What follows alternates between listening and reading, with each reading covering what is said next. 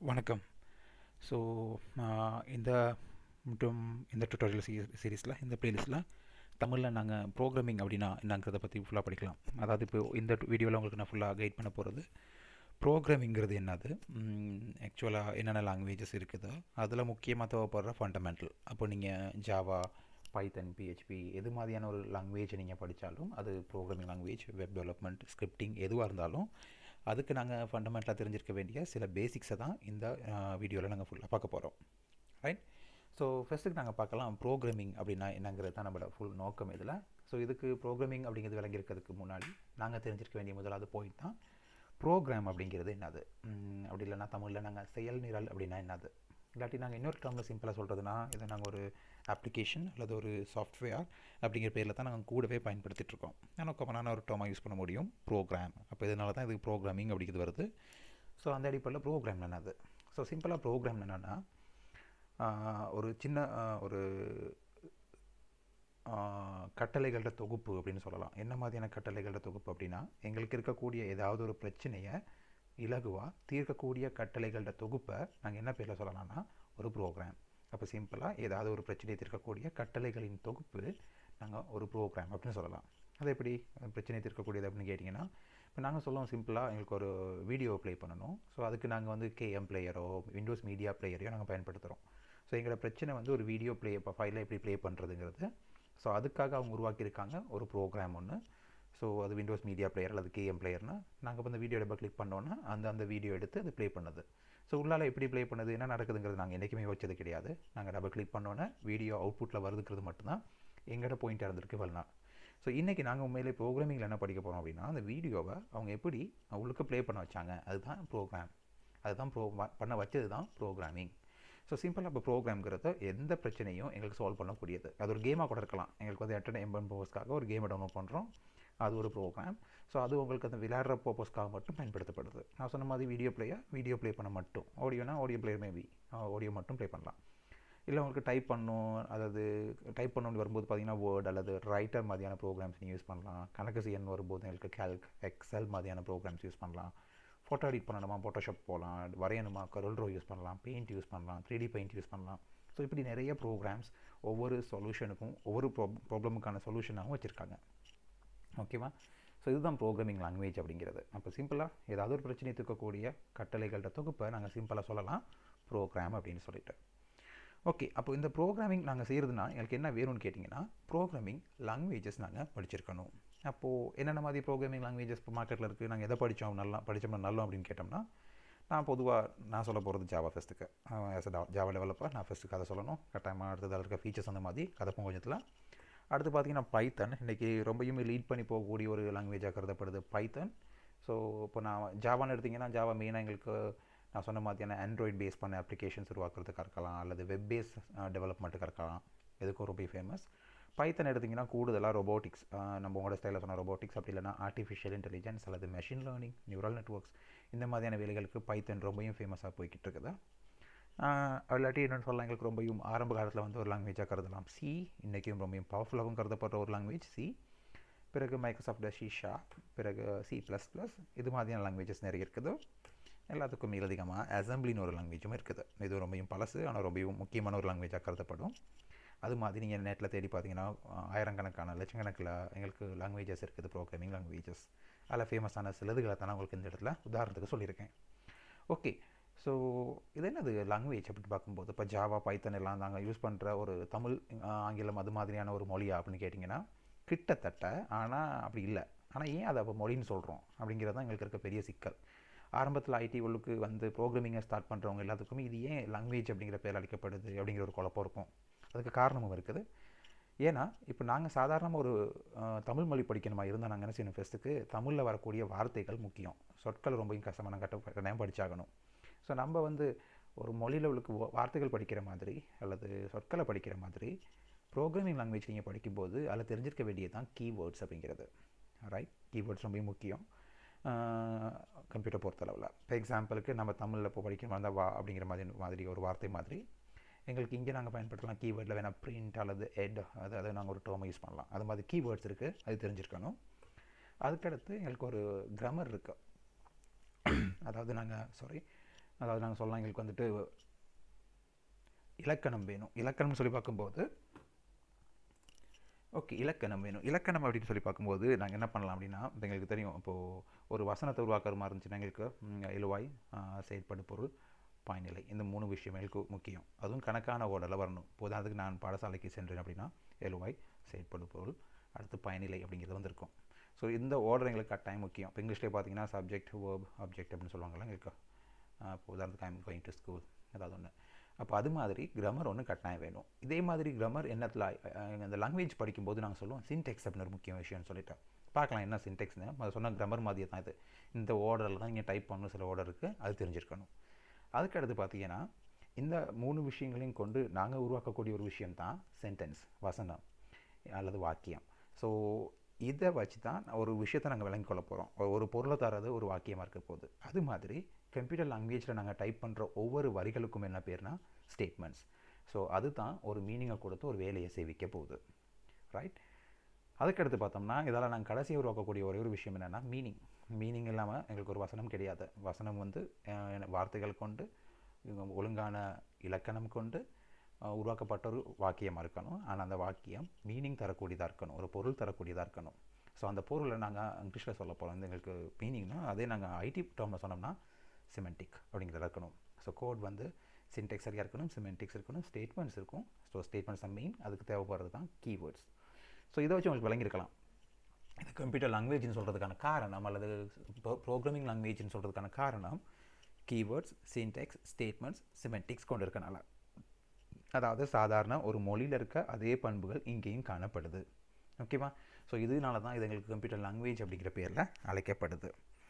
இந்த லாங்குவேஜை நாங்கள் ஒழுங்காக படித்து முடித்தோம்னு சொன்னால் எங்களுக்கு என்ன செய்ய முடியும்? கம்ப்யூட்டர்ஸ்க்கு வேலைகளை சொல்லி சேவிக்க முடியும். உதாரணத்துக்கு ஒரு வீடியோ ப்ளே பண்ண வைக்கிறதா இருக்கலாம் வாட்ஸ்அப் மாதிரி ஒரு சேட் அப்ளிகேஷன் உருவாக்குறதா இருக்கலாம் அல்லது ஸ்க்ரீன் ரெக்கார்டிங் அப்ளிகேஷனாக இருக்கலாம். நிறைய நாங்கள் என்ன சொல்லலாம் கேட்டால் எங்களுக்கு உருவாக்க முடியும். ரைட் ஸோ அதுதான் அதில் சமரி அடுத்தது இந்த ப்ரோக்ராமிங் லாங்குவேஜ் பற்றி நாங்கள் விளங்கிக் கொள்றதுக்கு முன்னாடி இது உள்ளுக்கு எங்களுக்கு தெரிஞ்சிருக்க வேண்டிய முக்கியமான சில கூறுகள் இருக்குது அதில் முதலாவது விஷயம் தான் சோர்ஸ் கோட் அப்படிங்கிறது. இது என்னது சோர்ஸ் கோட் அப்படின்னா? இப்போது நாங்கள் முதல் சொன்ன மாதிரி இப்போ தமிழில் நான் பாடசாலைக்கு செல்கிறேன் அப்படிங்கிற வாக்கியம் ஒரு பேராகிராஃபை நாங்கள் கிட்டத்தட்ட உருவாக்கினோம்னா ஒரு விஷயத்தை எங்களுக்கு வழங்கப்படுத்தும். இப்போ ஒரு எக்ஸாம்பிளுக்கு என்னை பற்றி அப்படின்னு சொல்லி மைசெல்ஃப் பற்றி நாங்கள் எழுதுறதுனா ஸோ நாங்கள் என்ன செஞ்சுட்டு போகலாம் ஒரு பேராகிராஃப் நாங்கள் எழுதுகிற மாதிரி இருந்துச்சுன்னா அந்த பேராகிராஃபை வாசிக்கும் போது ஒருத்தர் பற்றின விளக்கம் எடுக்கலாம். அது மாதிரி அந்த பேராகிராஃபை நாங்கள் ஒரு ஒரு பந்தியை நாங்கள் நிறைய வா- வா- கொண்ட இடத்த நாங்கள் பந்தின்னு சொல்கிற மாதிரி இங்கே நாங்கள் என்ன செய்ய போகிறோம் நிறைய ஃபைல்களை கொண்ட இடத்த என்ன சொல்ல போகிறோம் சாரி நிறைய கட்டளைகளை கொண்டிருக்க ஒரு இடத்த சொல்ல போகிறோம் என்னென்னா சோர்ஸ் கோட் அப்படின்ட்டு. உங்களுக்கு எக்ஸாம்பிளுக்காக ரெண்டு மூணு இடத்த காமிச்சிருக்கேன். ஸோ பிறகு நாங்கள் ஒன்றே ப்ராக்டிக்கலாக செய்யும்போது டீட்டெயிலாக பார்க்கலாம். இப்போதைக்கு ஒரு சின்ன ஐடியா மட்டும் எடுக்கலாம். ஸோ இது ஜாவா மொழியில் சிம்பிளாக ஏபி அப்படிங்கிற ரெண்டு பெருமதிகள் அதாவது ஏ உளுக்கு இருபதையும் பி உளுக்கு முப்பதையும் எங்களுக்கு டோட்டலுங்கிறதுக்குள்ளால ஏயும் பியையும் கூட்டும்போது வரக்கூடிய ஆன்சரையும் இங்கே நாங்கள் சேர்த்துருக்கோம். இதுதான் எங்களோட சின்ன ஐடியா ஸோ என்னது பப்ளிக் கிளாஸ் அப்ளிகேஷன் இது இதெல்லாம் நீங்கள் பற்றி ஒன்றும் வரி பண்ணாதீங்க. அது ஜாவா சீரிஸ் உங்களுக்கு நாங்கள் ஃபுல்லாக ஜாவா பற்றி கதைக்கலாம். ஸோ இது நாங்கள் சிம்பிள் அந்த இன்ட் அந்த மாதிரி டீட்டெயில் டேர்ம்ஸ் நான் சொன்னேன் ஞாபகம் இருக்கா? கீவேர்ட்ஸ் இருக்குன்ட்டு. அந்த கீவேர்ட்ஸ் தான் இது பப்ளிக் கிளாஸ் அப்ளிகேஷனாக இருக்கலாம்.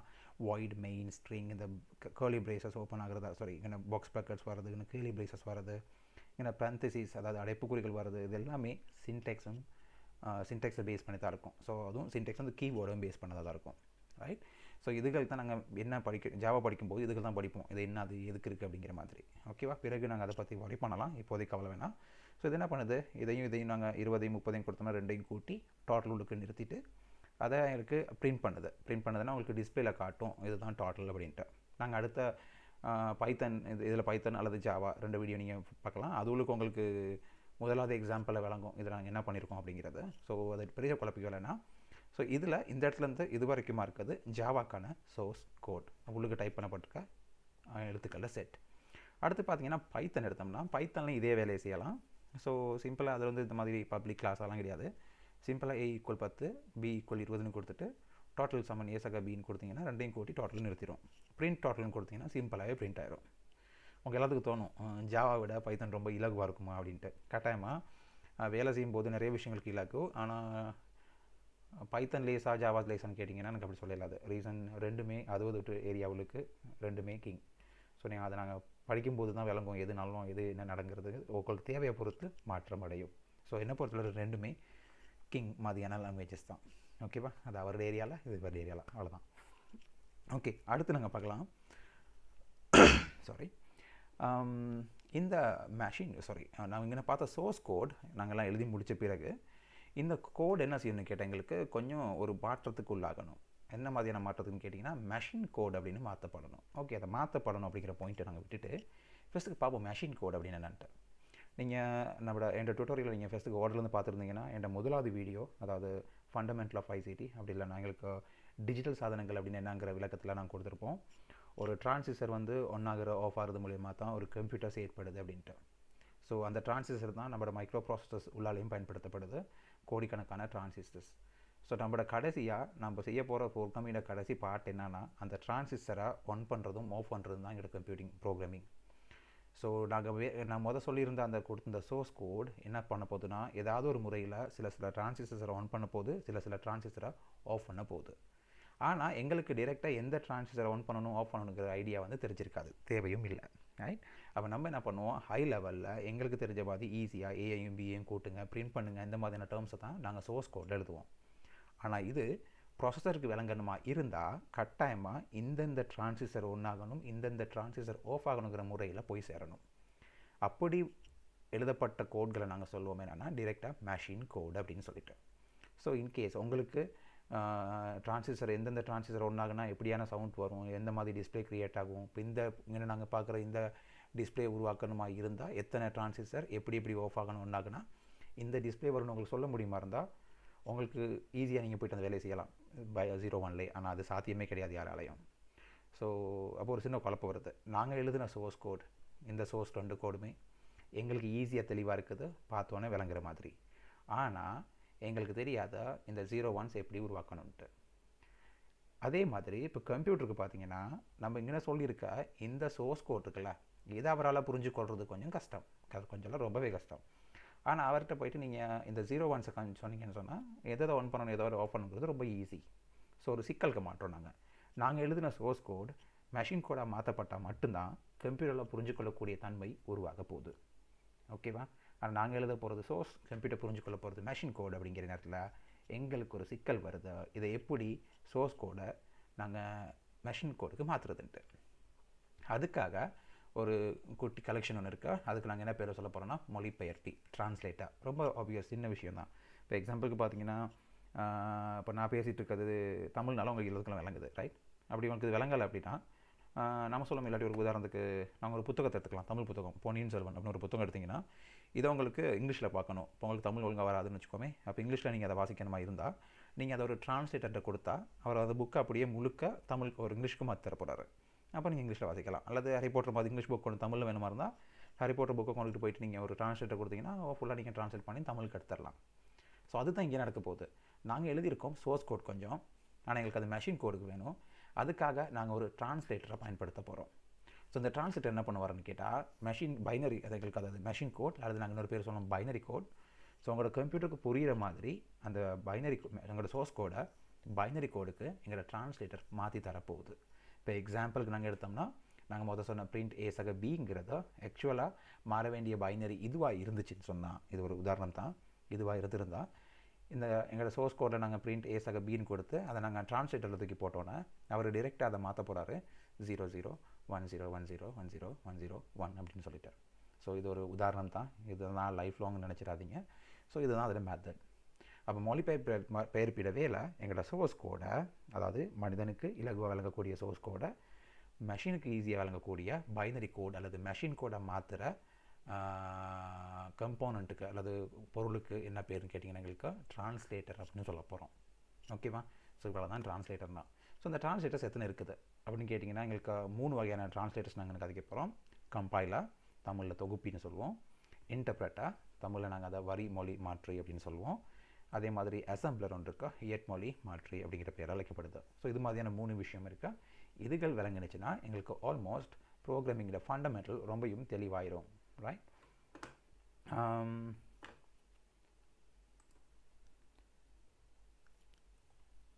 ஓகே நாங்கள் அடுத்தது பார்க்கலாம்.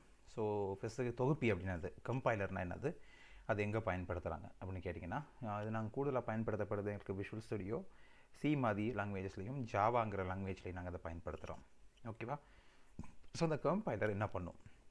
அப்படின்னு கேட்டோம்னா இப்போ எங்களுக்கு தெரியும் நாங்கள் யூஸ் பண்ணுற சோர்ஸ் கோட் கட்டாயமாக ஒரு டிரான்ஸ்லேட்டர் உள்ளுக்கு போயிட்டு மெஷின் கோடாக மாறணுங்கிறது தான் எங்களோட விதி. அதை தான் நாங்கள் நேரம் பார்த்துட்டு இருந்தோம். ஓகே அப்போது இந்த கம்பைலர் என்ன பண்ணுது அப்படின்னு கேட்டிங்கன்னா இப்போ நம்ம எங்கள் எங்கள்கிட்ட இருக்க இங்கே கொஞ்சம் லைன்ஸ்கள் லைன்ஸ் ஆஃப் ஸ்டேட்மெண்ட்ஸ் எங்களுக்கு இருக்குதா? ஸோ இது முதலாவது அப்படி நிறைய லைன்ஸ் எங்களுக்கு இருக்குதுன்னு பார்த்தோம்னு சொன்னால் இந்த கம்பேர் என்ன பண்ணணும்னு கேட்டால் இங்கே இருந்த இந்த கீழே இருக்க அவ்வளோ லைன்ஸையும் ஒரே நேரத்தில் மெஷின் கோடுக்கு மாற்றும் அது என்ன மாதிரி உதாரணம்னு கேட்டிங்கன்னா நம்ம சிம்பிளாக சொல்லலாம் நம்மக்கிட்ட ஒரு சைனீஸ் புக் ஒன்று இருக்குது. சொல்ல முதல் சொன்ன மாதிரி ஹரிப்போட்ட புக் இருக்குது அப்போ அதை கொண்டுட்டு போய் நீங்கள் சாதாரண ஒரு டிரான்ஸ்லேட்டர் கொடுத்தீங்கன்னா அவர் என்ன பண்ணுவார்னா அந்த புக்கை முழுக்க தமிழுக்கு அப்படி மாற்றி உங்களுக்கு ஒரு புது காப்பின்னு கொடுக்க போகிறாரு ஸோ அந்த காப்பி உங்களுக்கு விருப்பமான நேரத்தில் எடுத்து நீங்கள் வாட்சிக்கொள்ள முடியும். அது மாதிரி நம்ம இங்கே எழுதியிருக்க இந்த சோர்ஸ் கோட் முழுக்கத்தையும் அவர் என்ன பண்ண போகிறாருன்னா அப்படி ஃபுல்லாக கன்வெர்ட் பண்ண போகிறாரு எங்களுக்கு ஜீரோ ஒன்ஸுக்கு அதாவது மெஷின் கோடுக்கு அது பண்ணிவிட்டு எங்களுக்கு ஒரு குட்டி ஃபைல் ஒன்று உருவாக்கும். வளமையாக நாங்கள் மெஷின் கோட்ஸ் விண்டோஸ் மாதிரியான ஒரு அப்ளிகேஷனுக்கு பார்த்தீங்கன்னா டாட் இஎக்ஸி அப்படிங்கிற பேரில் அந்த ஃபைல் இருக்கும். அப்படி இல்லை நீங்கள் உபுண்டு மாதிரி ஏதாவது லினக்ஸ் என்வயர்மெண்ட் யூஸ் பண்ண போகிறீங்கன்னா டாட் டிஇபி ஆண்ட்ராய்ட்னா டாட் ஏபிகே இது மாதிரியான ஒரு தனி ஃபைல் ஒன்று க்ரியேட் ஆயிரும். ஸோ இந்த ஃபைல் எங்களுக்கு க்ரியேட் ஆன பிறகு அந்த ஃபைலை நாங்கள் விருப்பமான நேரம் நாங்கள் ரன் பண்ணலாம். ஆக நாங்கள் இங்கே எழுதின சோர்ஸ் கோட் முழுக்க கம்பைல் ஆன பிறகு ஒரு தனி பைனரி ஃபைல் எங்களுக்கு இல்லாட்டி மெஷின் கோட் சேர்ந்த ஒரு ஃபைல் கிடைக்கிது. அந்த ஃபைலை தான் நாங்கள் பிறகு தொடர்ந்து ரன் பண்ண போகிறோம் இதுதான் தொகுப்பிட வேலை. ஸோ தொகுப்பிட வேலை மொத்தத்தையும் ஒரேடியாக கம்பைல் பண்ணுறது ஓகேவா ஸோ அவ்வளோதான் கம்பைலர்னா ஸோ கம்பைலரோட வேலை நூறு லைன் கோட் இருந்தாலும் ஆயிரம் லைன் கோட் இருந்தாலும் அவ்வளோத்தையும் ஒரே தடவையாக மெஷின் கோடுக்கு மாத்திரே தான் இந்த கம்பைலர் சிம்பிளாக சொன்னோம்னா தமிழ் புத்தகம் ஒன்று டிரெக்டாகவே நாங்கள் ஆங்கிலத்துக்கு மாற்றுறத மாதிரியோ இல்லாட்டி ஆங்கில புத்தகம் ஒன்று டிரெக்டாக தமிழ் நமக்கு மா தமிழுக்கு மாற்றுற மாதிரியாக இருக்க போகுது.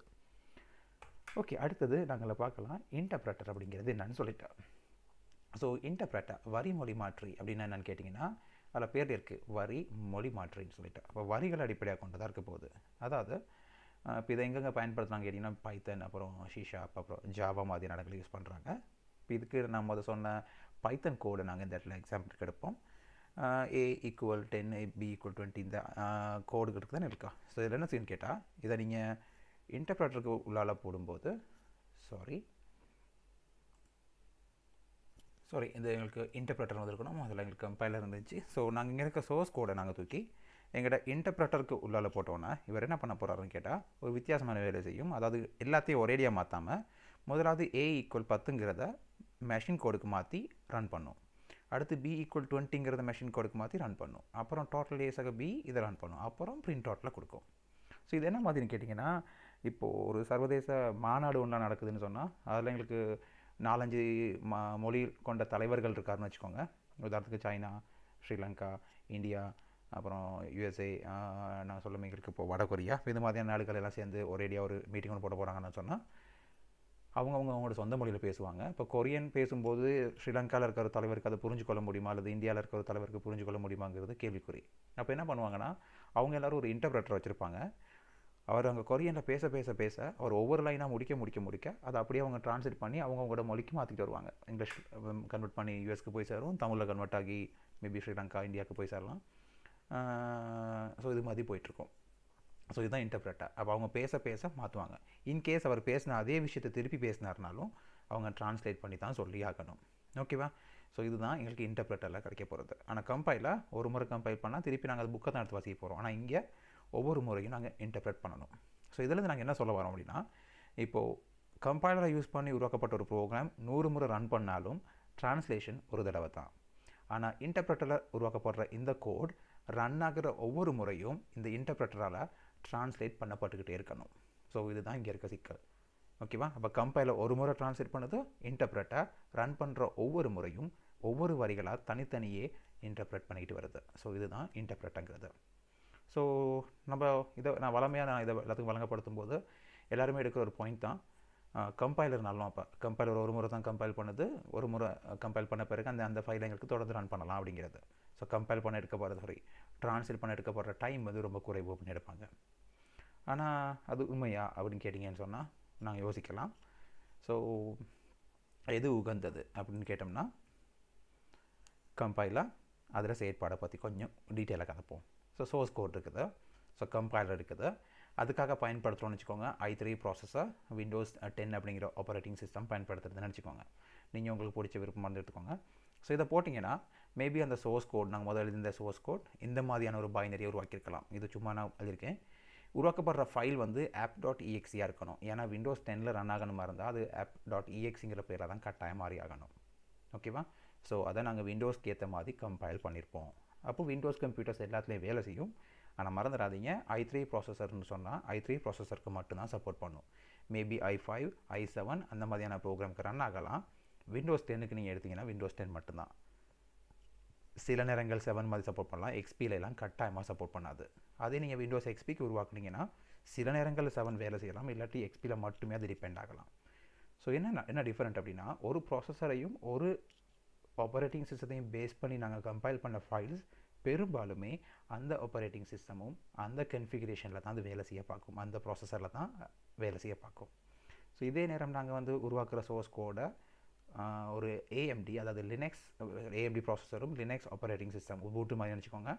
அதுக்கான கம்பைலரில் போட்டு நாங்கள் கம்பைல் பண்ணிட்டோம்னா வரப்போகிறது ஆப் டாட் டிஇபி அல்லது ஆப் டாட் எஸ்ஹெச் அது மாதிரியான ஃபைலாக இருக்க போது ஸோ இது இதில் மட்டும்தான் வேலை செய்யும். இதில் லினக்ஸில் மட்டும்தான் வேலை செய்யும். ஏஎம்டி ப்ராசஸரில் மட்டும்தான் வேலை செய்யும். அப்படி ஒரு சிக்கல் வரும்.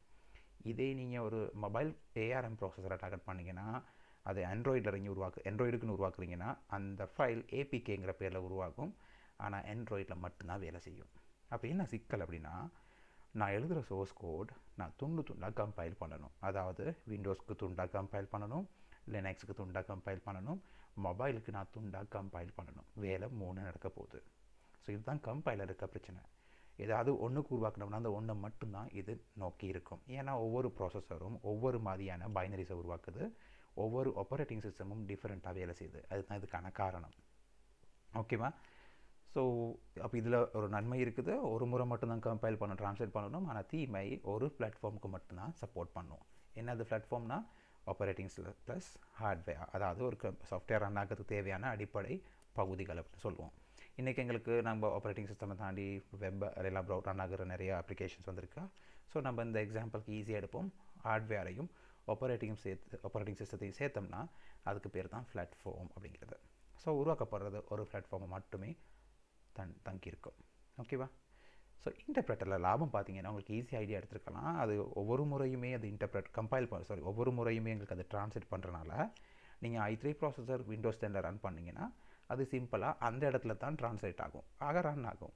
அதே ஃபைலை கொண்டு வந்து நீங்கள் ஏஎம்டியில் ட்ரை பண்ணி லினக்ஸில் போட்டாலும் அப்போ தான் அது ட்ரான்ஸ்லேட் ஆகும். ஸோ அங்கேயும் வேலை செய்யும்.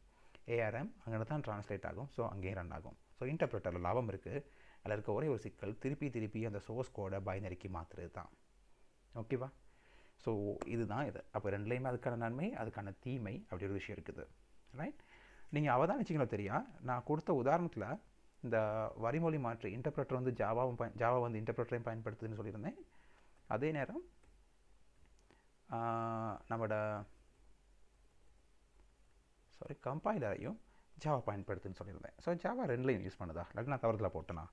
இல்லை ஜாவா வந்து ரெண்டுமே பயன்படுத்துது. அதுதான் ஜாவாவில் இருக்க ஸ்பெஷல் ரைட் ஸோ ஜாவாட ஸ்பெஷல் என்னன்னு கேட்டோம்னா எங்களுக்கு அப்போது அதில் எங்களுக்கு கம்பைலரும் இருக்குது இன்டர்பிரட்டரும் இருக்குது. ஸோ இது எப்படி சாத்தியம்? கொஞ்சம் டிஃப்ரெண்ட்டான விஷயம். இந்த ஜாவா மட்டும் கொஞ்சம் டிஃப்ரெண்ட்டாக வேலை செய்ய போகுது. அதுதான் ஜாவாட ஸ்பெஷலும் ஜாவா வந்து இப்போ ஜாவாவில் நாங்கள் எழுதுகிற சோர்ஸ் கோட் நம்ம சொன்ன அந்த பப்ளிக் அந்த மாதிரியான சோர்ஸ் கோட் எழுதப்பட்ட பிறகு அது அதில் கம்பைலருக்கு ஃபெஸ்ட்டுக்கு போகும். கம்பைலருக்கு போன பிறகு ஸோ அதுக்கு கம்பைலருக்கு நாங்கள் பயன்படுத்துகிற ஃபைல் பேர் ஜாவா சி ஜாவா கம்பைல் அப்படிங்கிறத. ஸோ இது மூலியமாக நாங்கள் அந்த சோர்ஸ் கோடை ரன் பண்ணோன்னே இவர் என்ன பண்ணுவார்னு கேட்டால் இதிலிருந்து ஒரு அவுட்புட்டை க்ரியேட் பண்ணோம். அந்த அவுட்புட்டுக்கு என்ன பேர்னு கேட்டிங்கன்னா எங்களுக்கு நாங்கள் அதை சொல்லுவோம். கிளாஸ் ஃபைல்ஸாக இருக்கும் அது. அதில் ஃபைல் உருவாக்கும் போது எக்ஸ்டென்ஷன் வந்து கிளாஸ் அப்படின்னு உருவாக்கும். இதுக்கு ஆக்சுவலான பேர் என்னென்னு கேட்டிங்கன்னா பைட் கோட் அப்படின்னு சொல்லுவோம்.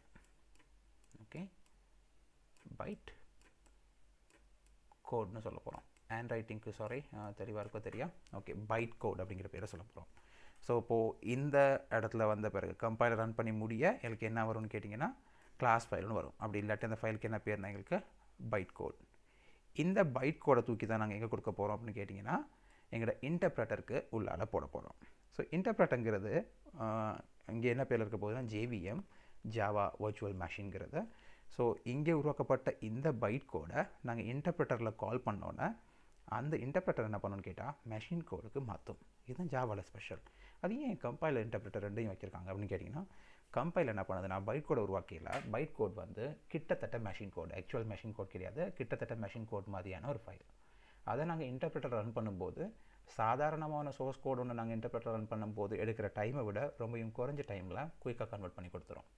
ஸோ அதனால் அது ஈஸியாக எங்களுக்கு மெஷின் கோடுக்கு மாற்றப்படுது அப்போ அதனால் இன்றைக்கி நாங்கள் யூஸ் பண்ணுற இப்போ எக்ஸாம்பிளுக்கு பார்த்தீங்கன்னா ஒரு குட்டி கேம் ஒன்று போனாங்க. நம்மளோட ஆங்க்ரி போர்ட் அந்த மாதிரி கேம் ஒன்று எடுத்திங்கன்னா ஆண்ட்ராய்ட்லேயும் சப்போர்ட் பண்ணது. அதே ஆங்க்ரி போர்ட் வந்து இன்றைக்கி விண்டோஸ்லையும் விளாட்லாம் லினக்ஸ்லையும் விளாட்லாம் ரீசன் என்னன்னு கேட்டிங்கன்னா அதுக்கு எழுதப்பட்டிருக்க அந்த ஒரு சோர்ஸ் கோட் கொமனாக இருந்து அது ஜாவால மாதிரியான ஒரு லாங்குவேஜில் உருவாக்கப்பட்டிருக்கனால அது டிரெக்டாக கம்பைல் பண்ணப்பட்டு ஒரு ஃபைல் க்ரியேட் ஆகுது. அதாவது நாங்கள் இப்போதைக்கு சிம்பிளாக எடுத்தோம்னா அந்த ஏபிகே அப்படிங்கிற மாதிரியான ஒரு ஃபைல் ரைட் நாங்கள் அது இங்கே எக்ஸ்டன் சிம்பிளாக எடுப்போம். இந்த ஃபைல் எக்ஸ்ஆர்கேயில் இதில் எங்களுக்கு என்ன லாபம் அப்படின்னா இதுதான் எங்களோட மெஷின் கோட்னா இங்கே எங்களுக்கு என்ன செய்யப்பட போகுதுன்னா விண்டோஸ் லினக்ஸ் ஆண்ட்ராய்டுங்கிற ஆப்ரேட்டிங் சிஸ்டம்ஸ் இருக்குன்னா இது எல்லாத்துக்கும் பொதுவாக இந்த ஒரு ஜேவிஎம் தாராளம். ஓகேவா ஸோ நாங்கள் ஜேவிஎம்ங்கிற இன்டர்பிரேட்டரை விண்டோஸில் வச்சுருக்க போகிறோம் லினக்ஸ்லையும் வச்சுருக்க போகிறோம் ஆண்ட்ராய்ட்லையும் வச்சுருக்க போகிறோம் ஸோ இங்கே உருவாக்கப்படுற இந்த எக்ஸுங்கிற பைட் கோட் அது டிரெக்டாக எங்களுக்கு ஜேவிஎம்க்கு உள்ளே போகும்போது அது விண்டோஸ் லினக்ஸ் ஏஆர்எம் எல்லா ப்ராசஸர்லையும் வேலை செய்யக்கூடிய மாதிரி சிம்பிளாக இருக்க போகுது. சாரி ஆண்ட்ராய்டு எல்லாத்துலேயும் வேலை செய்கிற மாதிரி சிம்பிளாக அமைஞ்சிருக்க போகுது. ஸோ இதுதான் எங்களுக்கு இதில் கிடைக்கக்கூடிய லாபம். தெளிவு நினைக்கிறேன் உங்களுக்கு இது. ஸோ திருப்பி ரிகால் கொடுக்க கேட்க போட்டுக்கலாம் ஸோ இன்டர்பிரட்டாக ஒவ்வொரு லைனை கம் இன்டர்பிரட் பண்ணுது கம்பைலில் எல்லாத்தையும் சேர்த்து கம்பைல் பண்ணுது. ஜாவா இன்டர்பிரட்டரையும் வச்சுருக்கு கம்பைலரையும் வச்சுருக்குது. ஸோ சோர்ஸ் கோட் ஜாவாவில் உருவாக்கி கம்பைலரில் போட்டோன்னே வர்ற ஃபைலுக்கு பேர் பைட் கோட் அந்த ஃபை பைட் கோடை நாங்கள் இன்டர்பிரட்டரை ரன் பண்ணோம்னா அது எங்களுக்கு மெஷின் கோடாக இலகுவாக கன்வெர்ட் ஆகும். இதுதான் ஜாவாட ஸ்பெஷல் ரைட் எதுவும் டவுட்ஸ் இருக்குன்னு சொன்னால் கரெக்டாக கமெண்ட்டில் போடுங்க. நான் தெளிவாக விளங்கப்படுத்துகிறேன் இன்னொரு கூட வேணாம் ஓகே அசம்பிளர் அடுத்து நாங்கள் பார்க்கலாம். கடைசி மூணாவது விஷயம். நாங்கள் பார்த்தோம் கம்பைலர் இன்டர்பிரட்டர் அசம்பிளர் மூணு இருக்குன்ட்டு. ஓகே இந்த அசம்பிளி லாங்குவேஜ்ங்கிறது ரொம்ப டிஃப்ரெண்ட்டான ஒரு விஷயம். அசம்பிளி அப்படிங்கிற ஒரு லாங்குவேஜ் இருக்குது. அதில் பயன்படுத்துகிறது தான் இந்த அசம்பிளர் ட்ரான்ஸ்லேட்டர் ஸோ இதில் நாங்கள் மூவ் சாரி எம்ஓவி மட்டும்தான் வரும் இ வராது. அடுத்து எட் அப்புறம் சப் இந்த மாதிரியான டேர்ம்ஸ்களை யூஸ் பண்ணி தான் நாங்கள் அசம்பிளி கோட்ஸ் எழுதுகிறோம் இன்றைக்கி நாங்கள் யூஸ் பண்ணுற நிறைய டிரைவர்ஸ் மாதிரியான விஷயங்களை உருவாக்குறதுக்காக அசம்பிளி கோட்ஸ் பயன்படுத்தப்படுது. ரொம்ப அடிமட்ட லெவல்களில் நிறைய ப்ரோக்ராமிங் கன்செப்டை உருவாக்குறதுக்காக. இது பரவலாக நார்மல் வேலைகளுக்கு பயன்படுத்துறது கிடையாது. டைரெக்டாக ப்ராசஸரோடு சம்மந்தப்பட்டு ரொம்பையும் ஹார்ட்வேரோட கிட்ட இருந்து வேலை செய்கிறதுக்காக பயன்படுத்தக்கூடிய ஒரு லாங்குவேஜ் அங்கே நாங்கள் டைப் பண்ணுற இந்த எம் எம்ஓவி மூவ்ங்கிறது அப்புறம் எட் சப் இந்த மாதிரியான கமெண்ட்ஸ் கம கமான்களை பைனரிக்கு மாற்றுறதுக்காக மட்டுமே பயன்படுத்துகிற ஒருத்தர் தான் இந்த அசம்பிளர் அப்படிங்கிற லாங்குவேஜ் சாரி அசம்பிளிங் லாங்குவேஜ் அதில் யூஸ் பண்ணுற அசம்பிளங்கிற தொகுப்பு. ஸோ அப்போ இது சிம்பிளாக ஜாவாக்கு பைத்தன் மாதிரியான லாங்குவேஜ்லாம் பயன்படுத்துறது கிடையாது. இது டிரெக்டாக எங்களுக்கு அசம்பிளியில் மட்டும்தான் பயன்படுத்தப்படுது. ஸோ இவ்வளோ தான் இந்த இன்ட்ரடக்ஷன் வீடியோவில் ஓகேவா ஸோ கட்டாயமாக என்ன பண்ணுங்கள் கமெண்ட்ஸ் நீங்கள் டைப் பண்ணுங்கள் சொல்லுங்கள் அதுக்கான விளக்கங்கள் தரேன் கட்டாயமாக லைக் பண்ணுங்கள் பிடிச்சிருந்தா சப்ஸ்கிரைப் பண்ணுங்கள் தேங்க்யூ